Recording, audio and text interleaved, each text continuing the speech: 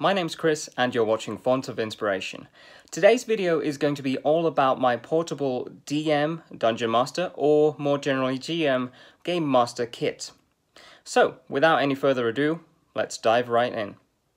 Now this is the type of kit that I would keep handy for all kinds of home games as well as portable games uh, at conventions, etc., where you really need to have a very small kit that travels well. Okay, let's have a look. So we start with the actual box itself. Um, I found that a tackle box or something similar is very handy for this kind of thing. Just make sure that you have the option to uh, make any kind of compartments that you want to. This one is nice because you can take the, the walls out from the middle and make it just one cavernous box. So, depending on what you want to do, choose the box accordingly. Tackle boxes, uh, small tool boxes, assortment boxes, that kind of thing, they would seem to work very well. So we start with a foldable dice tray.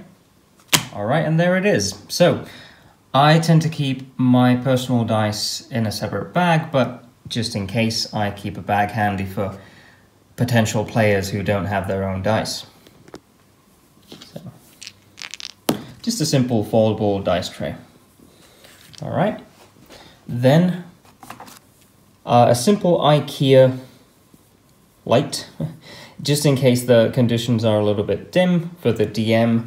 You can stick this into a laptop or if there happens to be a USB power brick somewhere that you can use uh, just for a bit of extra light for notes and stuff.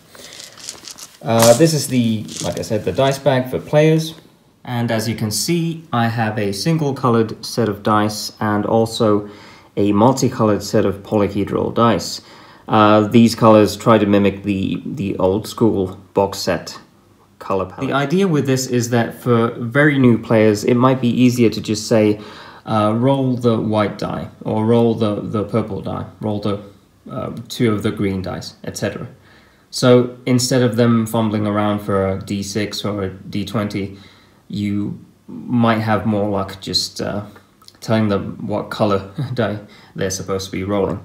All right, let's see what we have here next. As you can see, um, everything I have here is on a vinyl Chessex battle mat. Um, and that's what I use for mainly drawing maps and stuff. Um, for convention games or games away from home, I might bring a smaller mat or maybe not even have a mat at all, but it's nice to have uh, wet erase markers just in case. Now I use wet erase, a lot of people use dry erase, but I've noticed that um, they tend to leave a nicer line. I'm not even sure if you can actually use dry erase on, on these Chessex battle mats, but I prefer wet erase. Pick your poison. Next up, I have a few cheat sheets for 5th edition D&D. Um, these show players the, the various actions you can take during combat. So, for instance, attack, cast a spell, dash, etc. These are just so if you're wondering what can I do actually during a uh, during a combat, these might help. Three, so several players can have them. Um, then we get to just a simple portable Bluetooth speaker for music.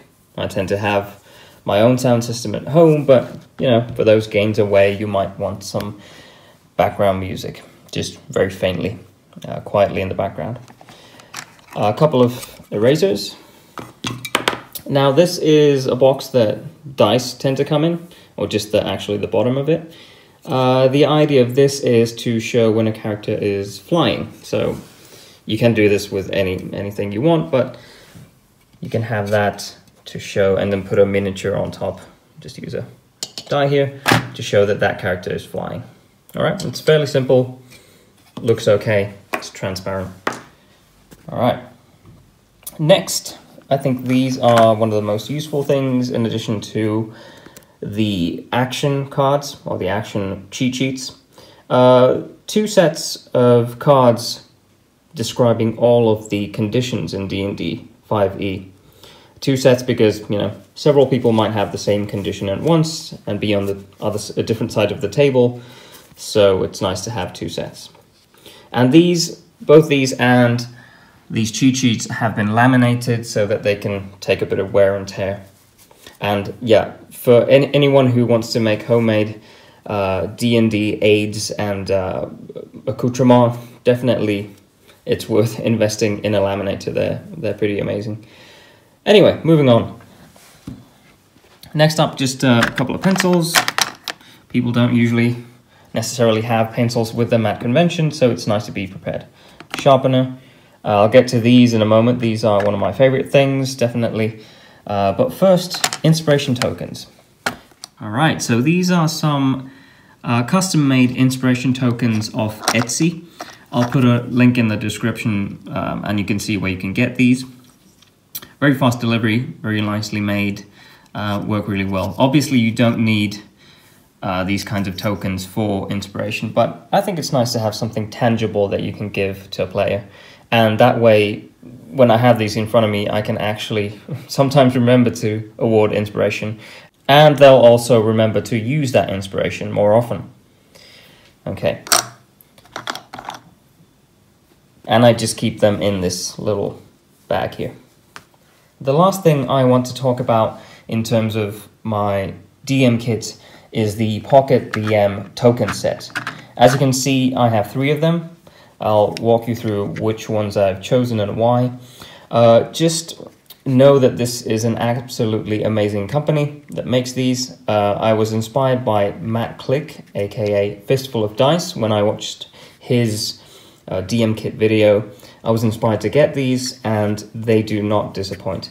They're amazing. And I'll put a link to uh, the manufacturer again on Etsy, and uh, you can get your own that way. So what these essentially are is uh, portable monster and character tokens that you can use at your games. The lid very handily works as the base for large monsters. So you just take one of these.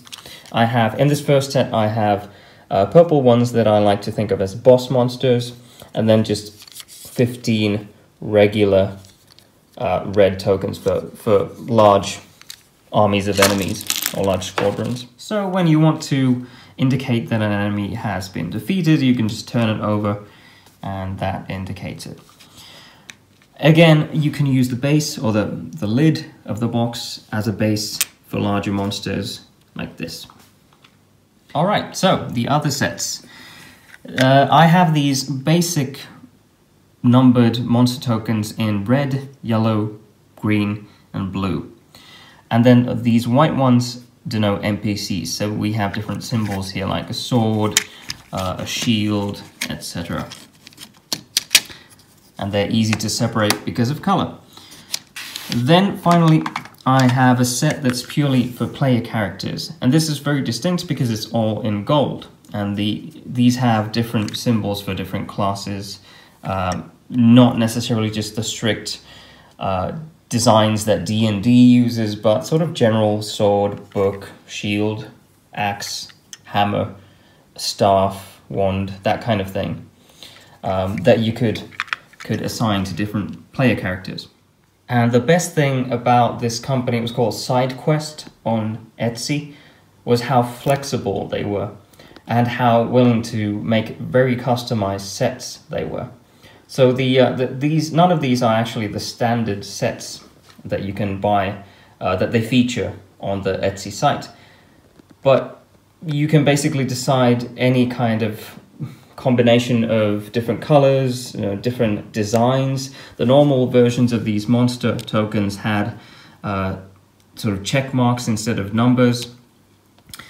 Um, and I asked to have 15 in just Arabic numerals, and that was absolutely fine. And the same thing, I wanted custom symbols for the uh, NPCs and then the player characters as well, and that was no problem. So very flexible, very fast shipping, um, highly recommended. They ship from Australia, but the shipping costs weren't too bad. So, like I mentioned, these have been very popular with dungeon masters like Matt Click, and others as well. And yeah, they definitely get a huge thumbs up from me as well.